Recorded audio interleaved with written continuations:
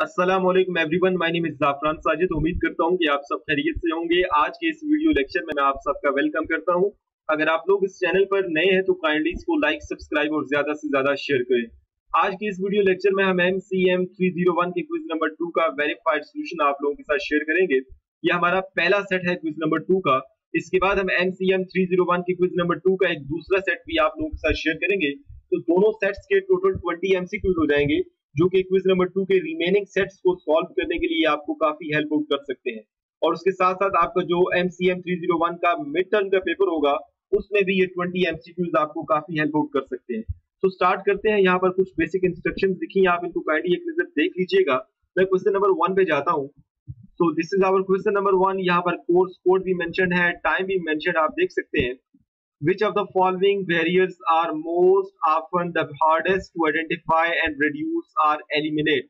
चार ऑप्शन है और option A listeners barrier this is the correct option move करते हैं क्वेश्चन नंबर टू पर okay this is question number two which one of the following is a planned and rehearsed speech that uses different words during rehearsals चार options हैं और option A जो है exam ex extemporaneous speech this is the correct option okay move karte hain question number 3 par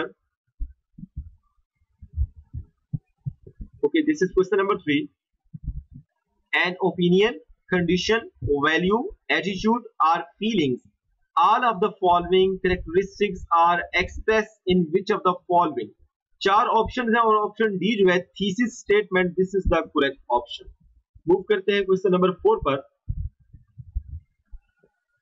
Okay, this is question number four. All of the following are the purposes of introduction except चार option है option B जो है avoid to audience this is the correct option okay move करते हैं question number five पर an effective presenter uses pitch changes to indicate a change in the message at the end of a sentence.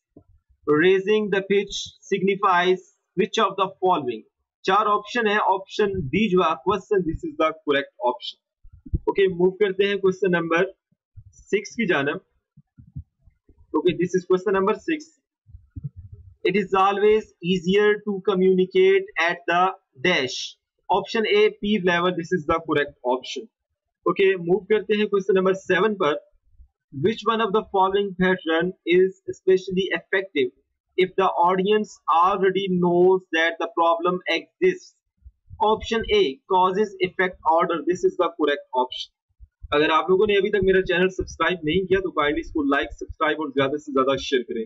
Okay move करते हैं question number eight पर which of the following would be the least helpful source when conducting audience research option B the program planner of the occasion where you are speaking this is the correct option okay move करते हैं question number nine की जानब jump to conclusion this is an example of listener barrier option C is the correct option okay N C M three zero one के question number two का ये आखिरी question uh, है।